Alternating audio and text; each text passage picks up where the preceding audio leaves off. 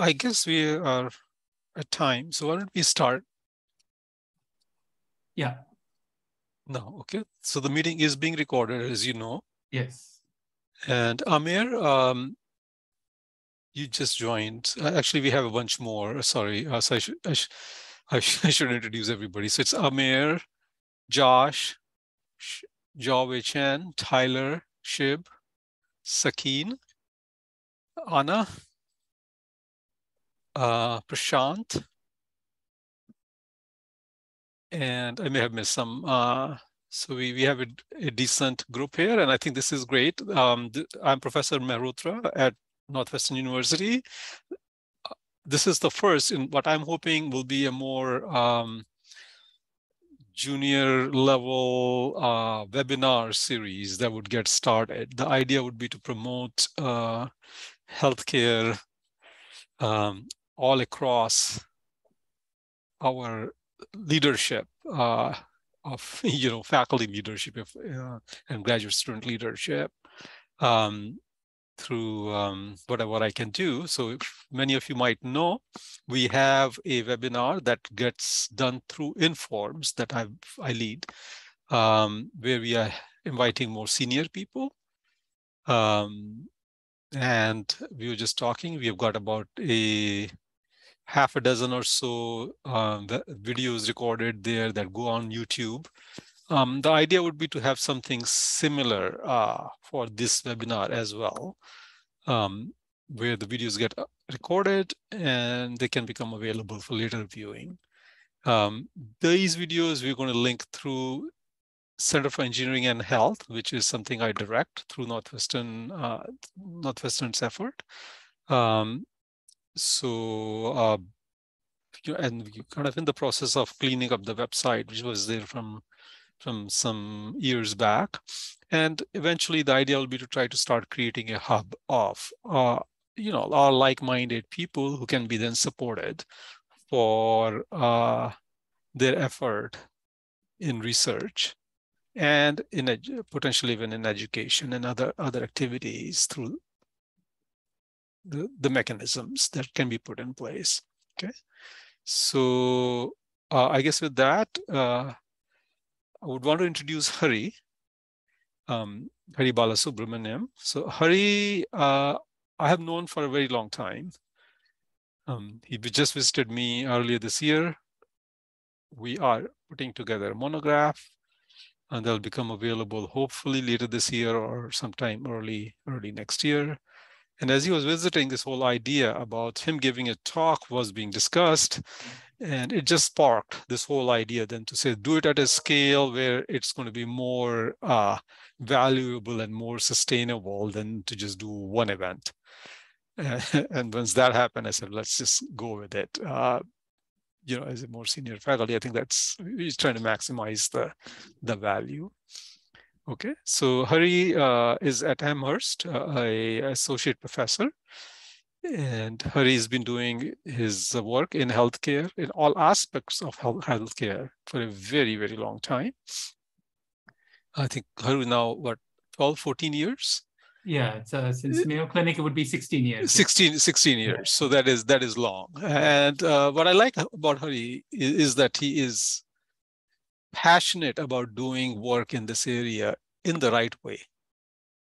And that means that you have a problem and you look at the problem at its merit and do things that will that really are needed to solve the problem uh, rather than make you know trying to get a heavier tool um, to solve it or a lighter tool to solve, solve, it, solve it. Just do the right thing for the problem at hand and articulate the problem in a way that it is uh, uh, it, it is accessible to uh, um, to the audience.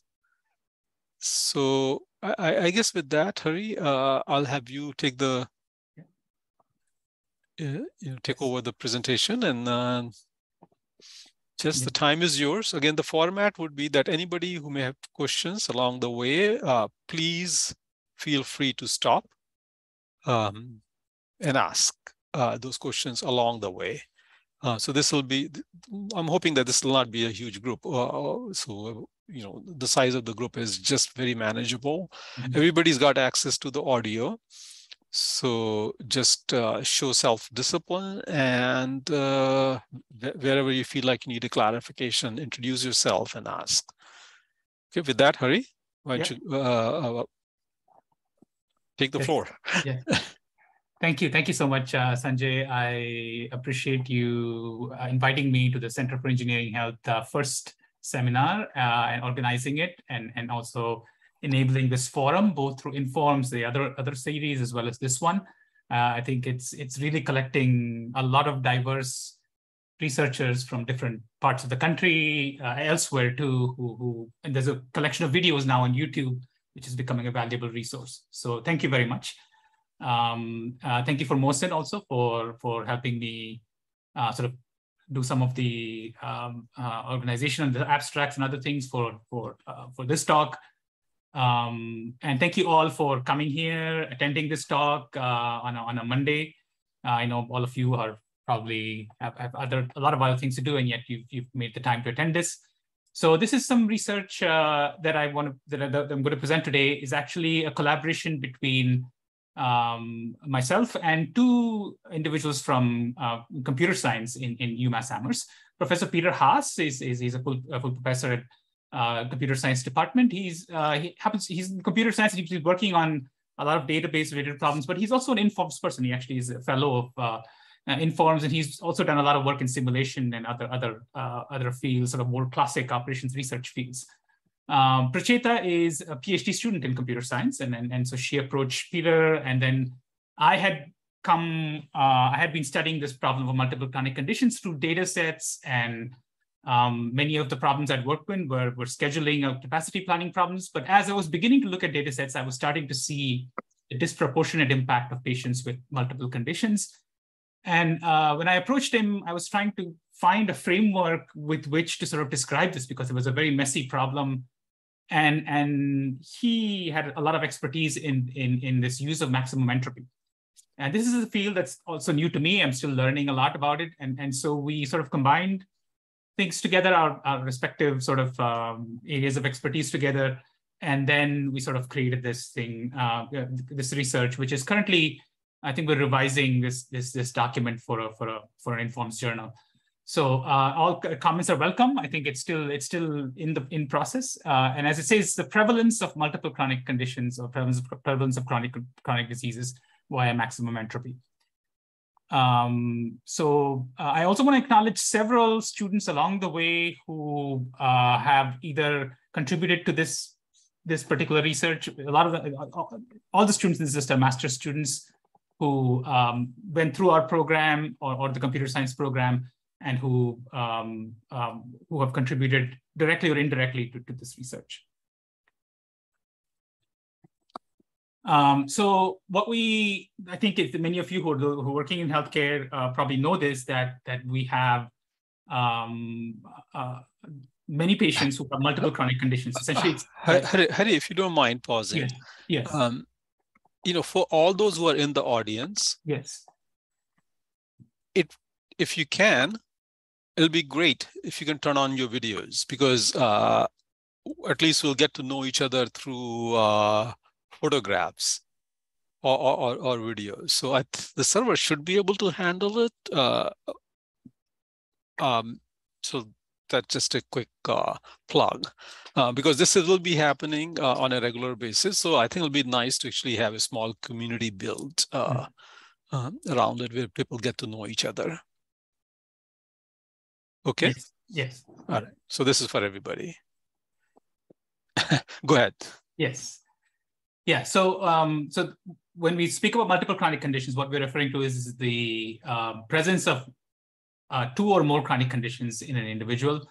Uh, if you look at the uh, report by RAND in 2017 on the prevalence of chronic conditions, and this is based off a data set that uh, called the Medical Expenditure Panel Survey, which is also a data set that I will be using a lot and some in illustrating some of the results.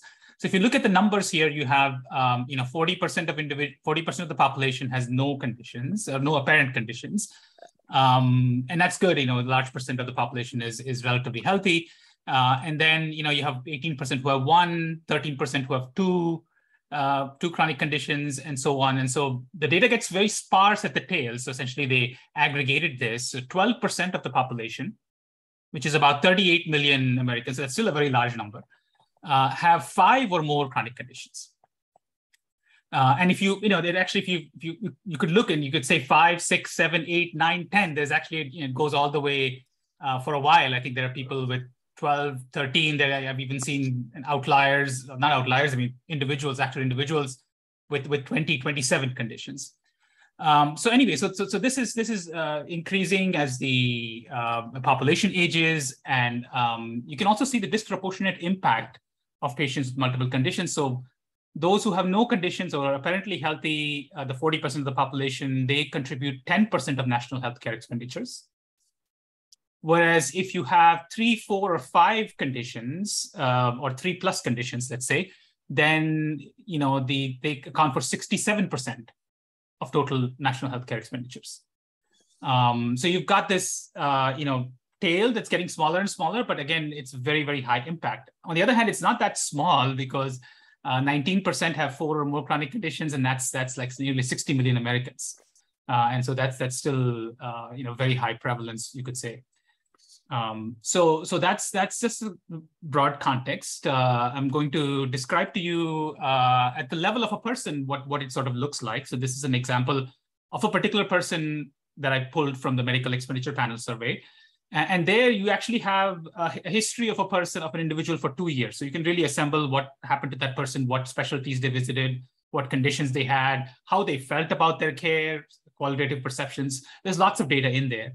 So in this one, what I'm showing you is a person who had multiple conditions, who had 79 office-based visits in a two-year period across 12 different specialties. This is the primary care, internal medicine, oncology, orthopedics, gastroenterology, urology, ear, nose, throat, um, rheumatology, dermato uh, dermatology, and so on. So you've got this sort of satellite of specialists who the patient is seeing. The patient also has uh, two inpatient stays in, in 2010, and there's 124 prescription refills. If we look at the prescriptions, they're likely to be complex because they're being probably prescribed by some subset of these specialists. Um, so when we saw on the last slide that you know they have a high patients with multiple conditions have a high impact, this is what happens. There's a lot of fragmentation of care across multiple specialties. Uh, and, and that contributes a lot to cost, that contributes to hospitalizations, medication conflicts, and so on. So uh, I want to so so I want to give you a little idea of what these combinations, multiple chronic condition combinations look like. I, and, and I think there's a uh, as I said, there's a long tail of complex patients. Um, and, and even though each individual combination has low prevalence, there are so many of them. There are so many combinations that there's a nice phrase for this, the high prevalence of low prevalence chronic disease combinations. So uh, there's there's there's just you know it just adds up because each one is maybe a thousand, two thousand, but it just you know.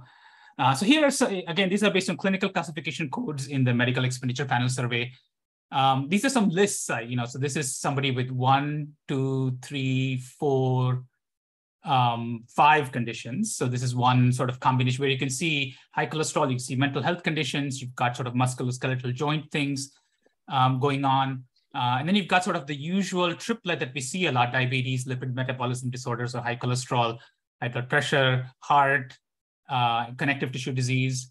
Um, again, it's, it's, it's, it's, you see the, you see sort of a, what you're seeing in these lists is, is, is mixtures of diagnosis codes from multiple well-known clusters. You could call it the metabolic cluster, which is the diabetes, um, lipid disorders, and, and high blood pressure cluster, respiratory. So for example, here you have um, um, COPD, uh, pulmonary disease, uh, mental health.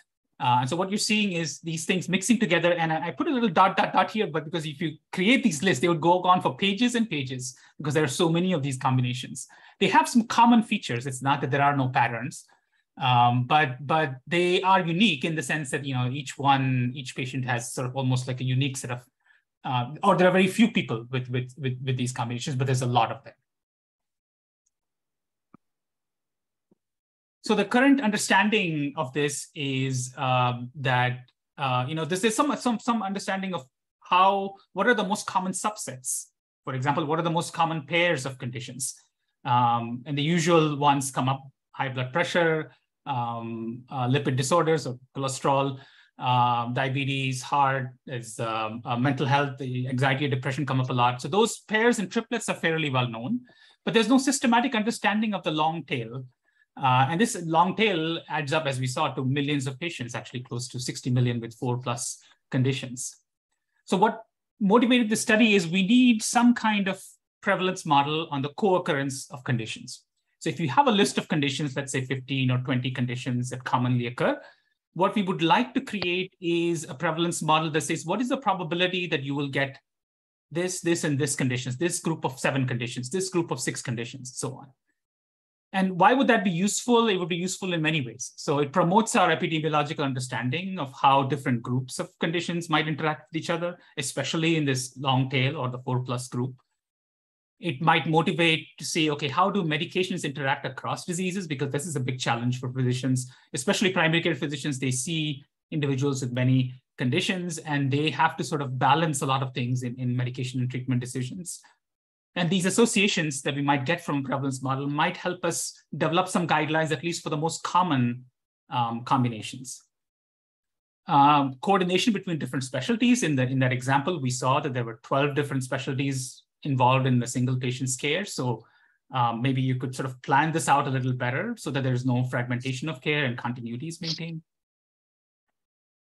If you're going to do, uh, there's many groups around the country, and I'm also working with one in Camden, New Jersey, that is trying to develop interventions for this heterogeneous group of patients with multiple chronic conditions. Often there are other uh, social issues that go along with it. And so um, I think uh, how many social workers, nurses, uh, and other healthcare staff do you need to help these individuals out, for example, home visits or enabling transportation, or this the whole, is a whole range of questions in there.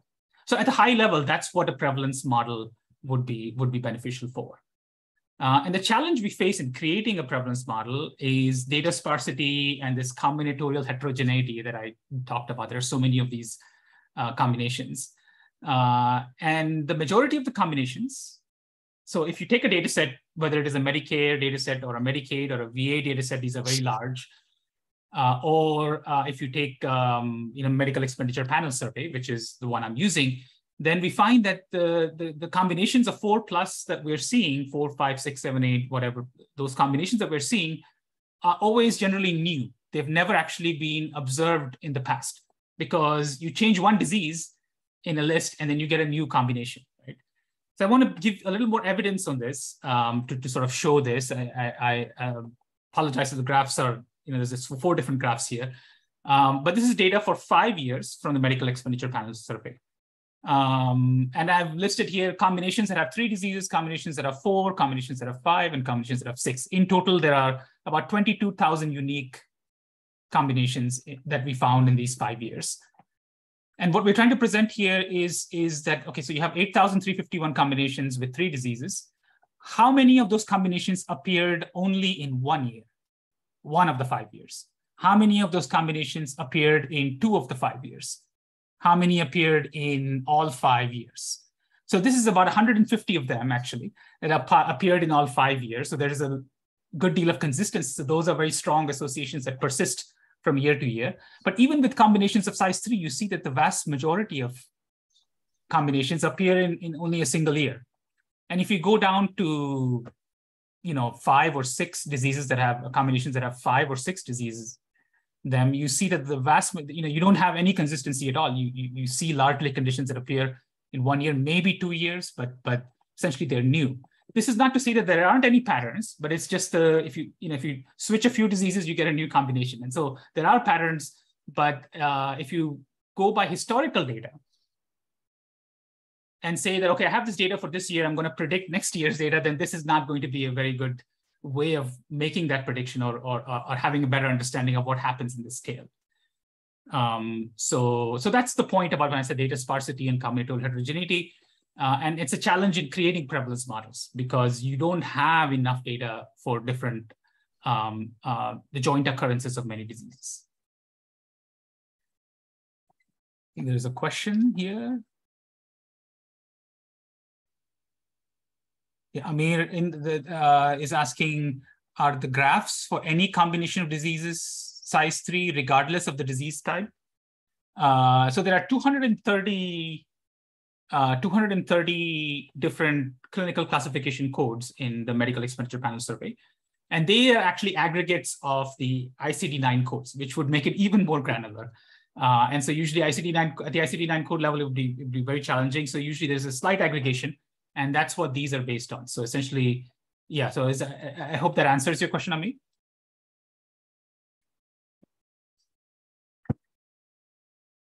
Yeah. Thank you. Yes. So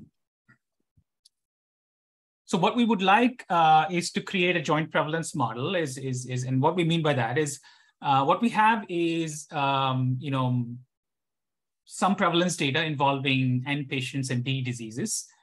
Um, and, you know, for example, one of the data sets we'll use in our case study has 62,000 individuals from the medical expenditure panel survey. Uh, and so you have essentially, you know, um, you know, this kind of data at the patient level where a disease, somebody has a disease or doesn't have a disease. Um, and, and, and so that's binary data that you have. And you would like to go from here to, um, to a, a, a, prevalence model, which has basically two to the power D disease states. Uh, and so if you have 20, 20 conditions that you're trying to investigate in this, which is, you know, actually there are 230 of them, but it's not possible to do that for that large number, but you can do it for 20 most common conditions, for example. Uh, even there, you would, you would have to estimate something like a million probabilities. Now, not all of those disease states are necessarily needed, but many of them are indeed relevant. And they have not been observed historically. Uh, as I just showed in the previous graph, many of the combinations are new. Uh, and so if you went purely by data in the past, um, you would erroneously estimate zero prevalence for unobserved diseases it might not matter for many combinations which are truly uh, very, very rare, but there are many that are relatively likely, but just haven't been observed. And so there's you would sort of miss a very large number uh, of conditions this way. Uh, so you might say, okay, that's maybe a problem with the medical expenditure panel survey. It's not, it's a survey, it's sampling 30,000 people every year. So is this, um, how does it work if you have larger uh, data sets like Medicare, Medicaid, Veterans Affairs? Um, so that, that, that would be, uh, you know, certainly there would be more data there. Uh, but they also face the problem because you would often have to slice by demographics, which is really, we haven't done that in this particular study, but you would have to slice by demographics. And once you bring in that sparsity, uh, inevitably becomes an issue. So, uh, or if you go from a particular classification code to, to categorize diseases like clinical classification codes to ICD-9 codes, which are more granular, then once again, you have a sparsity issue. So we, we, we can't seem to completely do away with the sparsity issue, even with very large, um, very large data sets. So, um, so, so how do we go about this? As I said, you know, one the common approach in the literature is to use uh, just you know observe what has been uh, there in the past and and mine for patterns in it. But there's, to the best of our knowledge, there's no prevalence model um, that has been proposed yet. Uh, and so what we said, you know, that's what this is where uh, my collaborator Peter Haas's sort of inputs came in. And so I had been doing this and showing him this chaotic list of combinations. And, and, and so he said that, you know, maybe we could try uh, a maximum entropy approach, which is being used a lot in um, NLP, natural language processing, ecology, many other domains um, to sort of say, okay, um, create this prevalence distribution. And so what is the maximum entropy and what is the main idea behind it? The, um, and I think I've found many quotes from it, uh, uh, but this one is, is one I sort of liked. Uh, given a collection of facts, uh, choose a model consistent with all the facts, but otherwise as uniform as possible.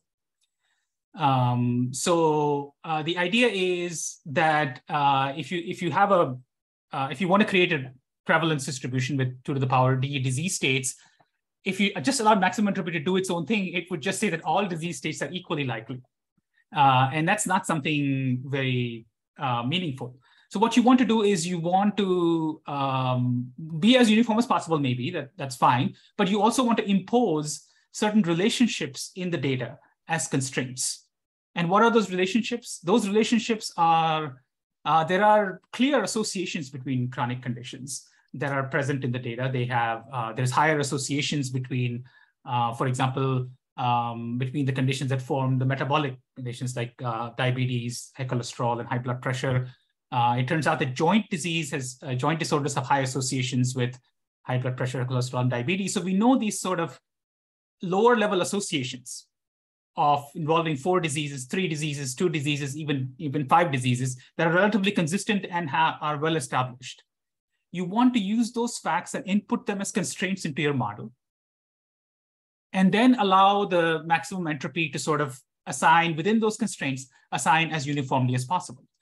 So one of the benefits of this, well, you know, I'm not saying that this is the best approach. It's one systematic approach, at least. It's it's uh, um, it gives something that's making no assumptions other than these facts, and it's assigning everything as uniformly as possible. And of course, the quality of the constraints will determine our uh, quality of the facts or the uh, the constraints that we could give to this model.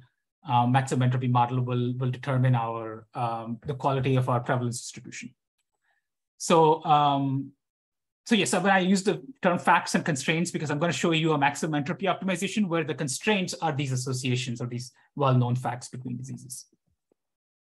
So let me give a three disease example uh, in this particular case, um, just for the formulation so that, you know, uh, when I had spoken with Sanjay earlier, uh, this was one reason, you know, uh, maybe the students in his group or anybody could sort of clearly see what's going on, what's what's what's happening in this example. So you have, um, you know, let's say there are three diseases, in which case there are only eight states to estimate. Um, you have the no prevalence, no disease prevalence state, uh, those with exactly just one disease one and not either of two and three. And this is individuals with all three diseases. So those are the eight states. Uh, and the maximum entropy objective function looks like this. Um, uh, you know, it's negative log p uh, summed over all the outcomes uh, all the discrete outcomes. In this case, we're thinking of discrete distribution. Um, so, uh, so that would be the entropy that we're trying to maximize. Um, and if you didn't specify any constraints into the model, each of these disease states would get a uh, one-eighth probability, which uh, is, is obviously not interesting. That, that's just the unconstrained case. But let's say that you introduce uh, some constraints. Uh, think, let me see here. So the first constraint we can say is, okay, maybe we have some idea of the probability of people who are apparently healthy. Um, those estimates are relatively decent. And I use the approximate sign here because you may want to not overfit to the data. You may want some flexibility around that value of, uh, of, of no disease uh, prevalence incidence. Um, the no disease proportion, so you, you, can, you can impose that. Uh, if you introduce um, more constraints. So for example, you say the disease one has a certain prevalence AD1 in the population, and that's fairly well known. The many of the diseases we actually know the incidence. So how would this constraint look? This would say disease one is part of that vector 100. It's also uh, a subset here. So in disease one can occur with disease two and not disease three. Uh, it can occur with disease three and not disease two. Um, and so, uh, and then of course, you can have all three diseases together. So disease one also occurs in this situation. So you would say that the probability of these four variables should add up to the incidence, which is sort of a higher level aggregate marginal measure of disease one incidence in the population. And so you can keep on adding more constraints. The more, you know, maybe there are more things you know, maybe you can do that for disease two, which again would associate different variables, um, uh, different probability variables um, in, in, in, this, in this constraint. And then we can look at that for disease three. Uh, now, let's say you want to uh, uh, uh you want to involve like uh, pairs of conditions. So you also know associations between D1 and D2. And so if you introduce that, um, you now have D1 and D2, and D1 and D2 is it can occur just by themselves, uh, or it can occur uh, along with the third disease. So, you know, so probability of R4 uh, and probability of R7 would equal to the disease one and two incidence that is observed. Again, approximately, we'll come to that in a minute. Uh, and so you can keep specifying this. Obviously, with three diseases, there's not much more to specify. If you specify everything, you essentially specify the entire distribution that you, you already have. Um, but let's say we pause here, and then and then you just want to add, okay, the probabilities add up to one and if you solve now this problem, the original problem, it would have given you one eighth probability without constraints. But now as you keep adding constraints, you start to leverage the structure that exists in the associations between conditions. And what structure you do not specify is assigned as uniformly as possible according to the maximum entropy principle. So that is the underlying idea of this, um, uh, of this method.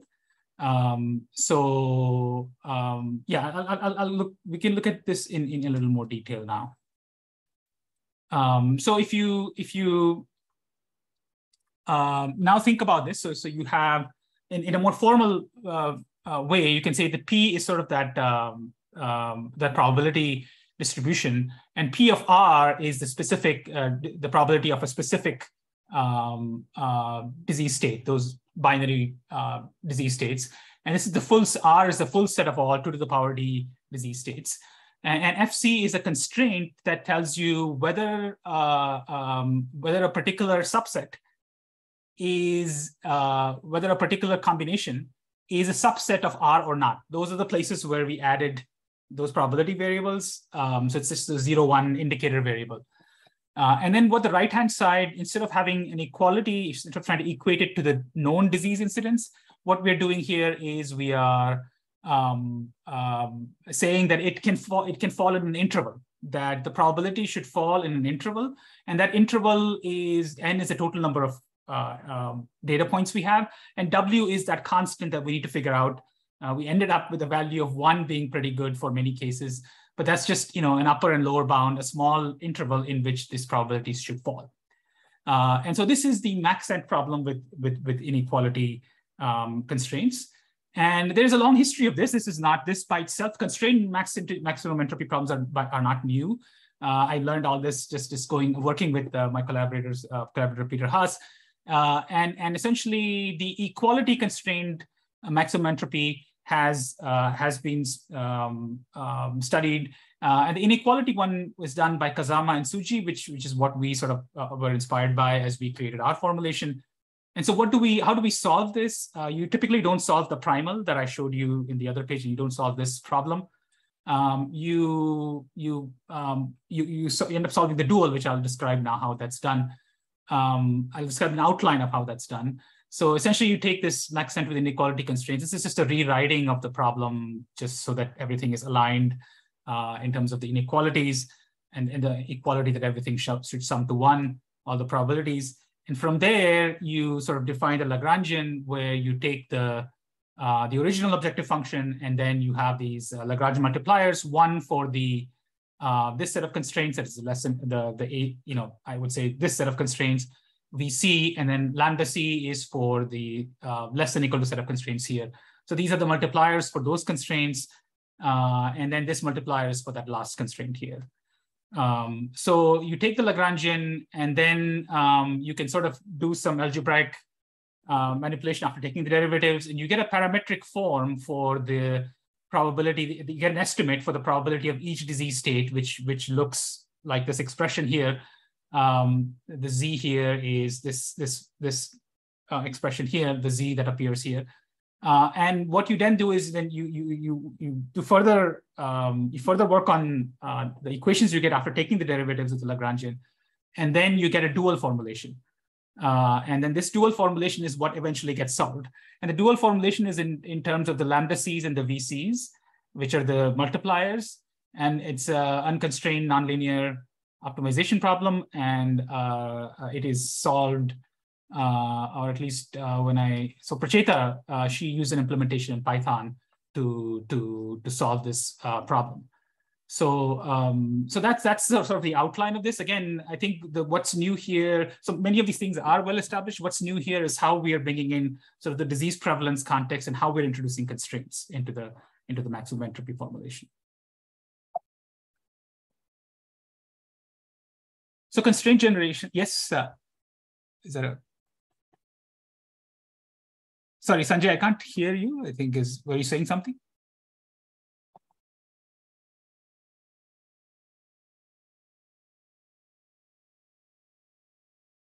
All right, I, I think I'll continue if, if, if that's okay. It looks like there was some comment, but we maybe we can we can um, deal can with it. Can yeah. you hear me now? Yes, yes, I can. Yes. Okay, sorry, probably the, the switch got off, or turned off. No, I, I have the uh, privilege of having access to the microphone. Everybody else has to type in their questions. Oh, okay. I'm gonna I'm gonna ask you a question. Okay. Yeah.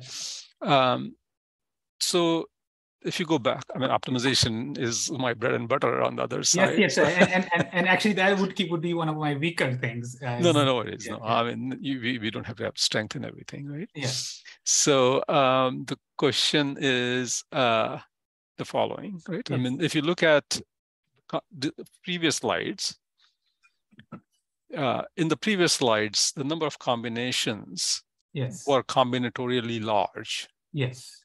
right? So don't worry, you don't have to uh, flip Yeah. that. Yeah. Right? I think we'll all agree with that, right? Now, in this formulation, Yes. you're enumerating all the combinations, Yes. Yes. Yes. right? So far, Yes. uh, have you? uh, First of all, maybe you already have a formulation of the POM model where the combinations are not enumerated,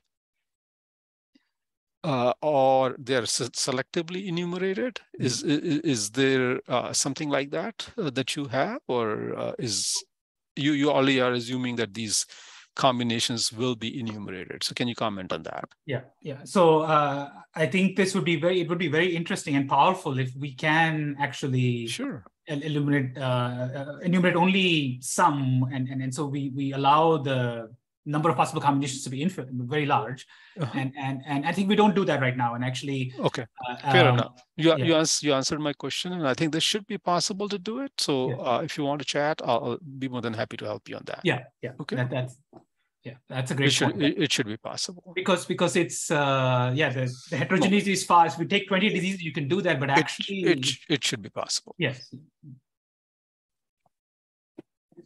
Yes, so let's go back to, yeah, so, so, so uh, describe the formulation. And this is the um, process of generating constraints that I'm going to talk about now.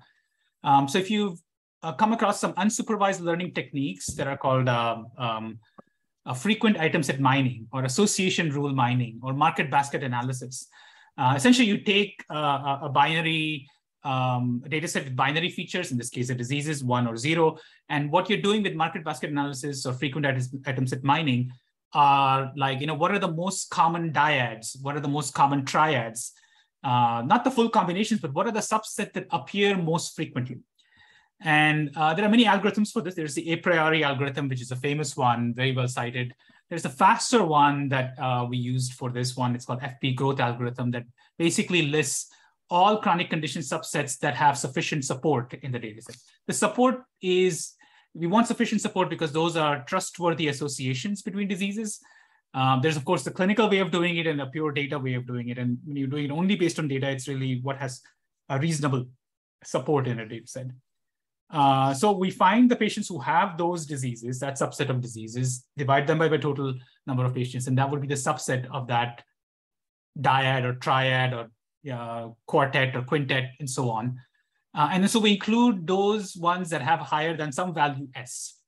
Um, the, the, I want to give you some examples of the triplets with high support. Um, as, I said, the, the disease combinations are very heterogeneous a lot, but they have very common features. You've got the you've got diabetes, high blood pressure, high cholesterol, which in a data set of 62,000 appears 1523 times. Um, connective tissue disorders, joint disorders, spondylosis, this is, uh, you know, that occurs 232 times. Uh, we've got a quartet here where um, the, the three that we are familiar with in the, in the triplet combines with joint disorders.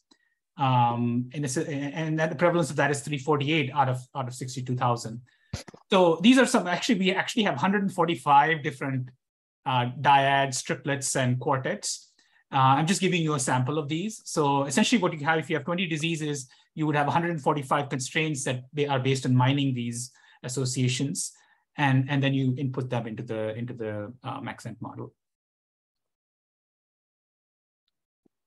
So, um, so the next stage of this is um, the difficulty with creating a prevalence distribution. You can create one, but how do we know that it is actually correct? It's, it's, it's, it's there is no prevalence model out there in the literature um, for the very same reasons that we are not able to create one easily. So how do we compare what the Maxent produces?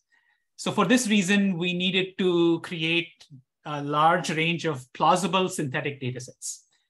Uh, and um, the, the advantage of these synthetic data sets is they're created out of a ground truth distribution, which means that we actually know the probabilities of the two to the power d states. And because we know that, we can then generate data sets from this, uh, from this distribution. Um, obviously, uh, we want, of we can generate data sets of differing sizes, different sizes, different diseases. Uh, so we can generate that. We know the uh, true probability distribution, the population distribution Then we can compare how Maxent does with uh, maximum likelihood estimates. Uh, and uh, what we also make sure is in creating these synthetic data sets, we keep or retain as many features as we can. Obviously, you can't generate, have a generative process that is as accurate, but you can, you can at least keep the main features. For example, I'm going to show you two features that, um, that um, we sort of retain. One is an exponential drop off. So essentially you have people with zero conditions is a high probability. And then people with, with, with one condition um, you know, is, is, is, is that data point there, two conditions and so on. So we see this very consistently, this kind of um, exponential drop and fits beautifully. An exponential fitted curve fits nicely with this um, uh, with this kind of kind of trend. But we, we don't want to just keep one thing. We want to vary this a little bit because maybe the scaling is different. Um, the data set sizes are different, but we keep this basic pattern, um, population level pattern. We also keep the idea that maybe there are different clusters of diseases with sort of some conditions that also overlap between them. For example, joint disorder seems to belong to the musculoskeletal autoimmune cluster, but it also belongs, seems to appear a lot with diabetes, high cholesterol, and high blood pressure. So there are some overlapping conditions, but there are also these clusters. So we were, we were, these synthetic data sets keep some of these sort of features. Um, and, um, and, and then we are now able to um, evaluate the performance of these data sets um, we were also able to learn what is a good support value that is good for, for various parameters and combinations of these, of these features. And then remember the fact that we don't, we try not to overfit, we try to fit to the, uh, we have this interval in which the probabilities should lie. What should be that width of that interval? We can learn those types of things from the synthetic data sets. Um, so um, so so we do that, and and and there's actually it's a very involved section. I could probably uh, uh again um, it would be uh, we'd be talking about for a very long time, but I want to give you a little summary of uh, what we found. Um, so we have let's say 2,100 synthetic data sets that we've generated with all these different parameters. We tried to com- uh, we tried to compare the Maxent MCC distribution, multiple chronic conditions distribution, with the ma maximum likelihood distribution, but we also know the ground truth distribution from which this data was generated. So we can compare how Maxent performs in relation to the ground truth. How does MLE, which is empirical estimation, perform in, in relation to this ground truth? And a way to quantify how two distributions are similar or not, we use uh, the Jensen-Shannon distance, um, which actually is a kind of weighted measure of what is known as the Kullback-Leibler divergence measure. And essentially it compares every point, uh, every, uh, so if you have two distributions with the same sort of uh, set of outcomes, it, it, you know, it computes the log. It's very common in information theory. Uh, and, and it gives a measure between zero and one, which tells you if it's closer to zero, you're closer to the ground truth. And if you're closer to one, the farther away you are from the ground truth. And so this is a box plot of um, these are two box plots, one with the Maxent MCC, and then this is the uh, maximum likelihood distribution um, based on empirical frequencies. And we see that uh, the Maxent MCC uh, generally performs fairly well. It's closer to the ground truth distribution, values closer to zero mean uh, a good fit. Uh, it's, it's, it's, it's doing better, at least in synthetic data for compared to, uh, compared to the MLE. So, um, uh, so this this essentially is the full procedure. Uh, I mean, essentially, we have we have our disease data set. We are going to extract some features, learn the support values, and from the learned support files, we get a value of support that we can then use to mine constraints. And then we fit the we run the Maxent uh, model. Uh, we get the probabilities of the two to the power disease disease states, uh, and that's that's the that's sort of the full procedure out here. Uh, and so we call it the Maxent MCC uh, algorithm. Um, kind of puts it all together. So um, synthetic data is very good and the procedure is very good, but the final test of this is how well it applies in practice uh, and how reasonable the results are. And so essentially we went back, collected, uh, we, we applied it to a data set over five years from uh, MEPS, about 62,000 patients. Uh, in MEPS, there are 230 clinical classification codes 2 to the power 230. We're still not in that world yet. Um, so we took uh, the 20 most prevalent chronic diseases for our analysis. Um, and that still gives you sort of the most if you, by choosing the most prevalent, we still hopefully see some of the patterns that we, we would like to see. And we have several applications, which I'm going to go through now. Um, uh, uh, they, they kind of come at, come at it from different perspectives. Um, the constraints that we use, so we got a support value from a synthetic data. We learned the support value using a machine learning model. And that gave us a value of 0.0029. What it really translates to is in a data set of 62,000, if a subset of diseases is observed um, more than 177 times, then we're gonna we're gonna include it into the model. And this resulted in a total of 145 constraints, pairs, triplets, and quartets. I would have gone a little bit more uh, if I had just intuitively done this. I would like to put some quintets, which seem to be uh, relatively, I think we could, and that's where the clinical information would come in. But purely from a machine learning type thing, these are the constraints we added. And again, those are the example examples of those 145 um, constraints. Uh, so the first application I'm going to talk to you is estimation at the very tail of the distribution. Um, and this is a little more aggregate level estimation. So um, where in our data set, we have people with 8, 9, 10, 11 diseases. So it stops there. And so the question is, obviously, this is a survey.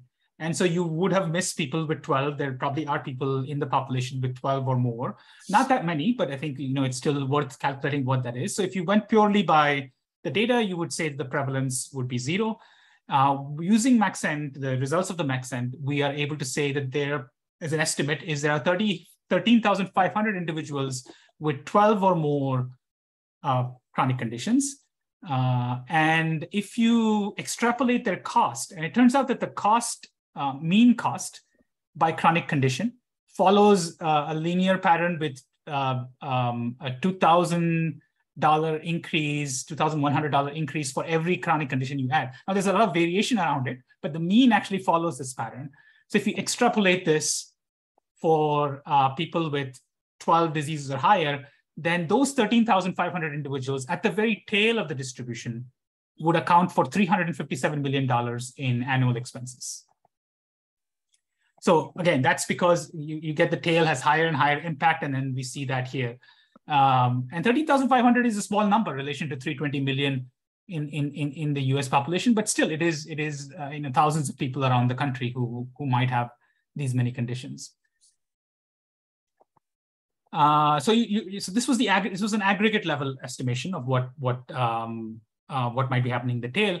You can also create lists of unobserved but relatively likely combinations. I, you know, it's a long table with a lot of elements in it, but it, so this, so we created a list where we had the top 25 combinations uh, that we, that are unobserved in the data set, but have relatively high prevalence. They account for about 369,000 um, total individuals in the US. And, um, you know, I'm, I'm listing a few of them here. Uh, and if I look here, uh, how plausible are they? So if I take this one here, you've got, this is actually COPD. Uh, and so here you've got that thing where, um, you know, you've got the mixtures of sort of the metabolic conditions, you've got uh, the joint disorders, which again correlates with that. You also have COPD, which, which we've seen in previous cases does mix with these. So this wasn't observed in the data set, but it is a plausible uh, combination. So you have an entire database now, which you can search to see what might be uh, unobserved, but relatively likely. Another one that I feel like, you know, has, has relatively high sort of plausibility might be something like that, or there's any number of these that, that um, would be up to clinical investigation. This may or may not happen. You know, this is just a, a way for people to investigate whether these things, these things are possible. Um, so, so there's two more, two more results, and then I think I'm getting to the close. I think these are from different perspective. Um, so if you're a primary care physician, you have a panel of patients, and in that panel, you have very often you have multiple patients with multiple chronic conditions. You're likely to encounter combinations that you've never observed before, um, especially somebody who's practicing in rural areas. They don't have access. Uh, the data sets tend to be very small. Um, so, for example, you might have somebody who comes to your practice who has diabetes, heart disease, depression, and asthma um, it's, a, it's, a, it's a plausible combination. There are thousands of these, and so these might present at, at, at, offices in primary care across the country. there's no systematic method for saying, given that you have this quartet, what is the risk of other chronic conditions? As a basic prevention measure, you have four, we don't want any more.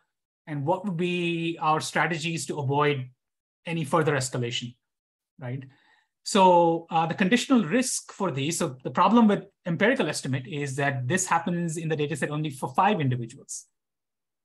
And so, you know, it's going to be very noisy. Um, and so what you see in the, so this is the quartet that I'm talking about, and maybe there's a better way to visualize this, but you've got this quartet and there's 16 other conditions that sort of a satellite surrounding it.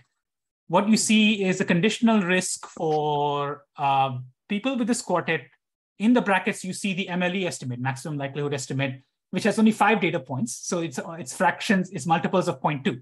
Uh, and so it's a little bit ridiculous because you get 0.2, 1, and so it's very noisy, obviously. Sometimes it overestimates, sometimes it underestimates.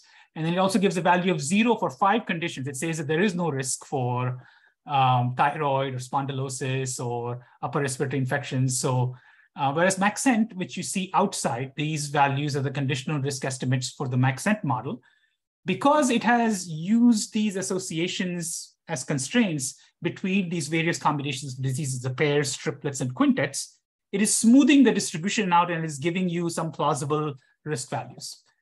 The spondylosis discrepancy where it says the Maxent says 0.33, MLE says empirical estimate is zero.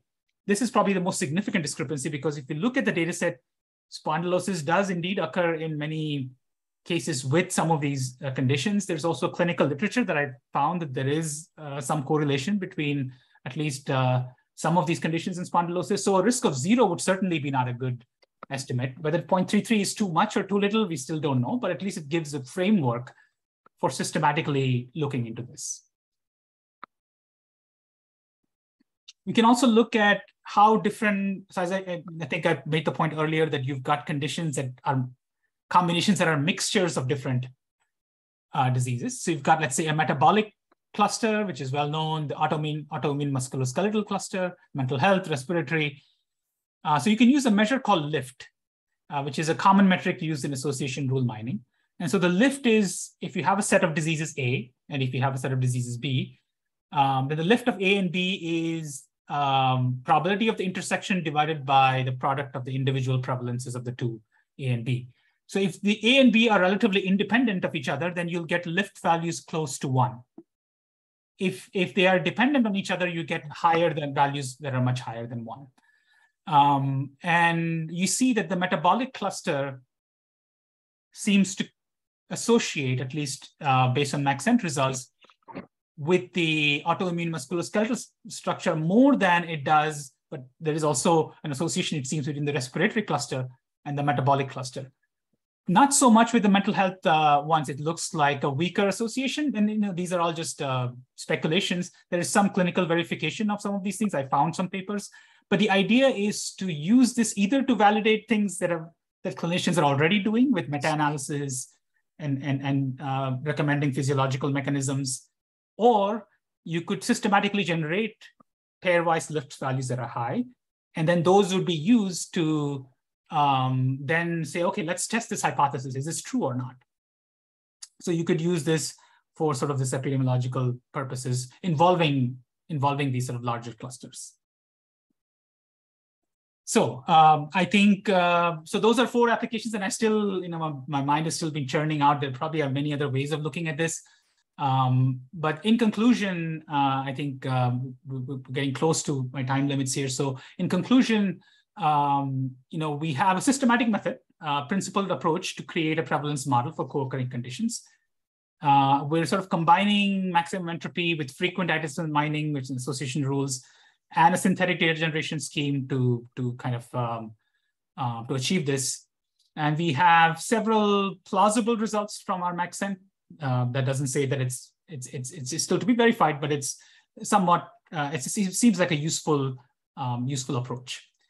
Uh, we have not, and I think that could be a major criticism, is that we haven't really included demographic features. Uh, you know, you may want to segment it. You may want to create a Maxent model for 65 and older by gender, by race, by, and, and actually the data is going to get more sparse as you do that. So the Maxent will even more come into play um, as, as, as, as we look into those. Uh, I have been discussing this with physicians. Um, I think we are still in a very early stage, so I think uh, you know it's still it's still a ways to go.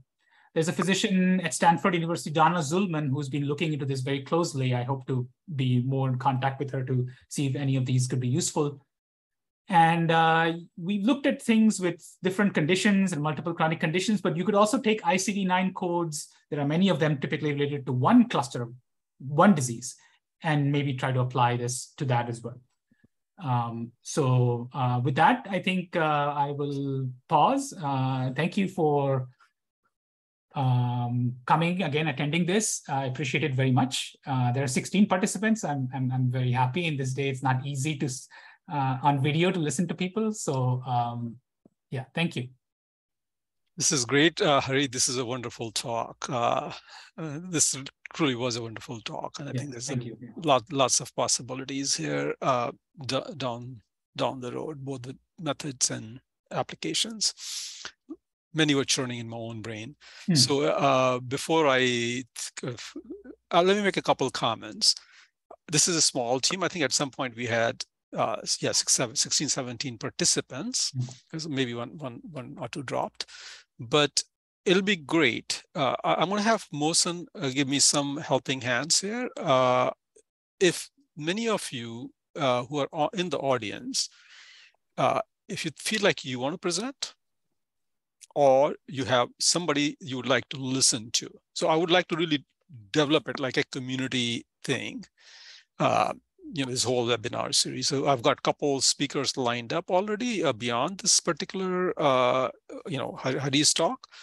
Uh, reach out to Mohsen and copy me on that email. So I'm going to try to vet it out. You know, uh, unfortunately, not everybody might be able to get a chance, uh, depending on how this comes. But uh, uh, but the idea would be to try to make sure that people get a platform Mhm. to talk about work that they're doing, which is uh, very interesting to them. Uh, I think that it's important, but doesn't necessarily find the platform uh, for it to be presented.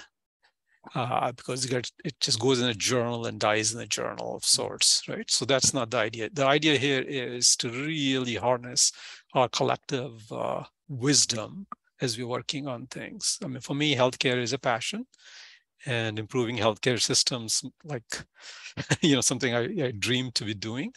And all of these things go a long way in that direction. So uh, please follow up on that part. Uh, but in that, uh, uh, otherwise, uh, so Mohsen's put his email uh, in the in the chat, and I think we'll have your emails because you you somehow signed up for this. So we'll we'll see exactly whether we have access to your emails or not. So we'll reach out and we'll start uh, forming a, small uh, group of sorts, uh, like a listserv of sorts, so that we don't spam. And next talk that is coming, uh, you know, you would know that through that listserv and and and then also through INFORMS uh, notification board. Okay. So this is the very first. Uh, are there any questions? And we can go a little bit over. We don't have to be ending right at noon, um, noon central. Yeah, so Josh. Yes, Josh uh, Gladstone. Yeah, Yes, so Josh is a, uh PhD student starting at the Isenberg School of Management at UMass. Uh, he was a master's student in uh, with uh, with us in, in, in IUR. And he actually worked on an independent study, which was a very good, and that sort of informed much of my thinking. And that's why I invited him to this talk. Um, do you recall the support level used with FP growth found to be the most effective? Um, so the FP growth algorithm was implemented by Pracheta. Uh, and I have, you know, we've done the Apriori algorithm uh, a lot and, and we use it in R. So when I do it, I use the Apriori. So, um, so maybe your question is directed with the idea that if you make the support very small, you're going to get a lot of, you're going to be able to list a lot of subsets. And so, and that takes time and it gets computationally hard. And so the question is, um, I, I, uh, yeah, I, can certainly find that out, and we can, we can, yeah. So, but, but uh, is that the, what was that where you were going with that question? Yep. That's what it says. Yeah. Yeah. Any other questions? Well, if uh, if not, then um, you know. Actually, That's- Amir has a question. So Uh, okay, how, how about you? Uh, Amir, sorry, I missed. Yes. I, can you hear me?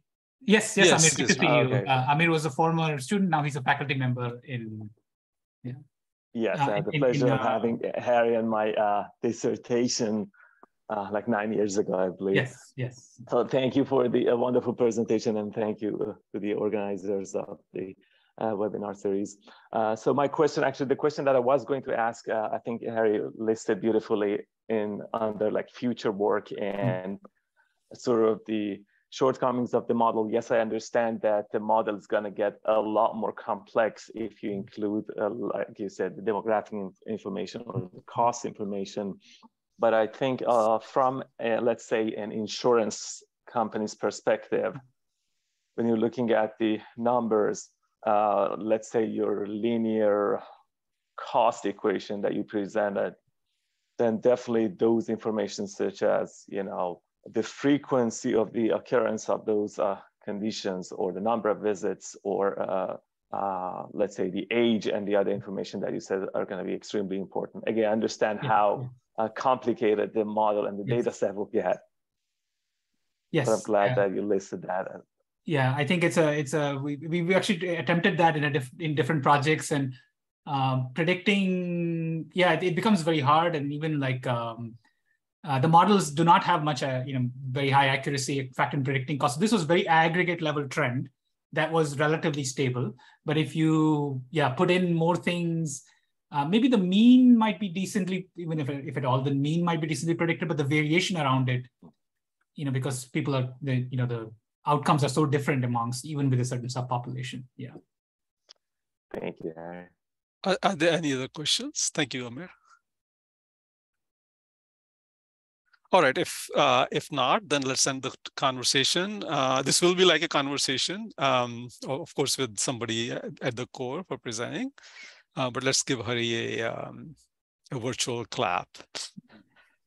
So I, I you know, I, I would say that this is one good thing that's come out of COVID. Unfortunately, with all the bad things that have Yes. happened, right? Yes. that we can do these things Yes. where you know diverse people can come uh, people at diverse locations can come together and we have these smaller forums that can be formed this would be virtually impossible if you were to do this physically Yes. So again as i said before uh, if you like the talk i think this is going this is a great talk at exactly the right level for the for the web for this webinar series so send uh, me an email and and uh, and most copy Mohsen on that, and then also um, uh, if you have suggestions, be more than happy to entertain it. Uh, okay.